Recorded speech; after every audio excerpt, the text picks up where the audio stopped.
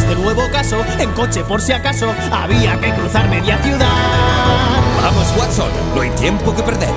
La condesa de Nata llamó desesperada, al caso no encontraba solución. Vamos a contarte cómo fue este caso, con imaginación y un poco de teatro. Aprende nuestro juego y déjate llevar. Seremos desde ancianos hasta niñas del lugar. Aprende nuestro juego y déjate llevar. La magia del teatro es lo mejor para jugar.